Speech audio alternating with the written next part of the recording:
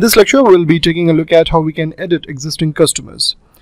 Over here, we'll be making use of our customer DAO methods that we created earlier. In the previous lecture, I just demonstrated other way that is by using CSS pages how you can consume data from the database. Now continuing with the CRUD operation, we'll be now making use of update customer method from our customer DAO. In order to do this, we'll be first of all going to pages and creating a razor component. So we'll click on add and here we'll be choosing new item. From here select razor component and then give it a name. For instance, I'm going to give it edit and then click on add. So if you see in our customers.razor page here we have this edit link coming up. The same will be consumed over here. So when we say edit customer we'll be basically sending the user to this page. So we'll have the path set as edit and then obviously we'll have an ID over here. So we'll say ID that will be the ID of the customer. And after this we'll also have to make use of the DAO that we have. So we'll be saying this namespace will be using Blazor web app.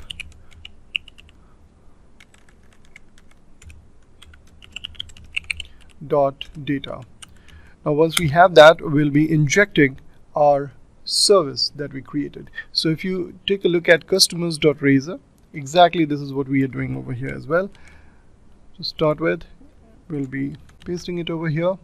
Now we have our customer services included. Here we'll also include navigation manager so that we can travel back to the page from where the customer came. So we'll be saying inject and here we'll be making use of navigation manager. We'll save navigation manager and we'll give it a name as navigation manager. Now once we have all these things we'll have to create our edit form where we will be showing the data of the customer. For that, we'll be pasting this snippet that we have.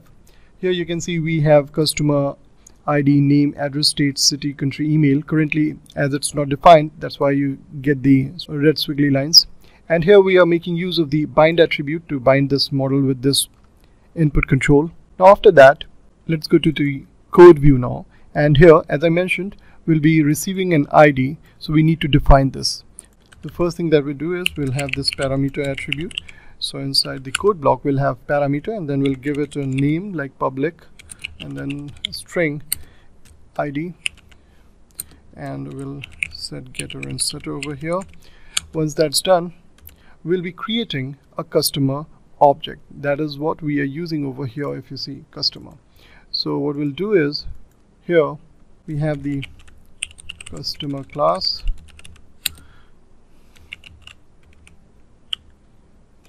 Is equal to new customer.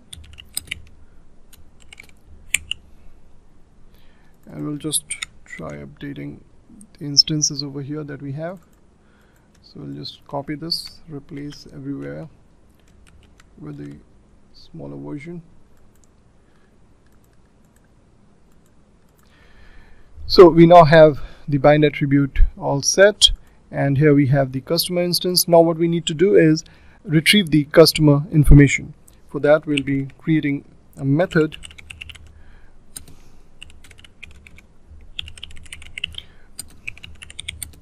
and this will be an asynchronous task.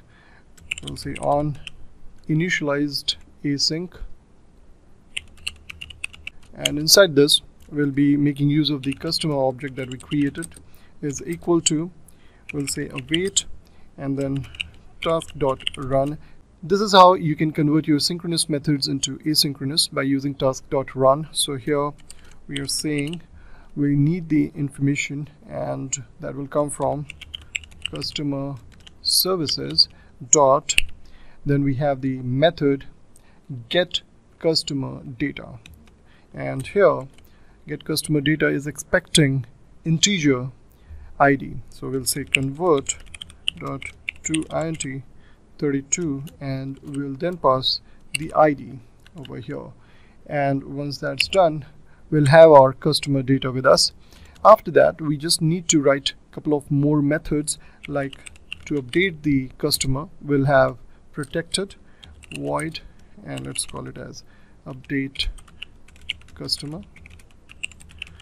And here we'll be using the service that we had customer service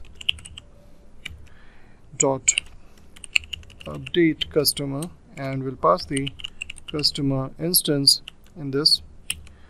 And finally once it's done we can use the navigation manager that we included to go to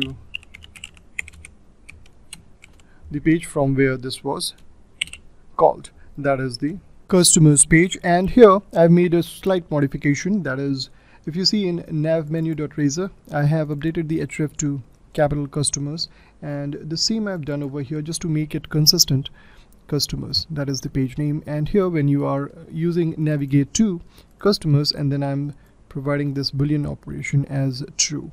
So this is going to ensure that you are redirected to the customers page one more update that we need to make is that there was a syntax error with the bind syntax. So here we have to precede it with at the rate symbol. Then only the value will be reflected in the input text box. And the last thing is to include the on click event. So the method that we created update customer will go over here on click update customer.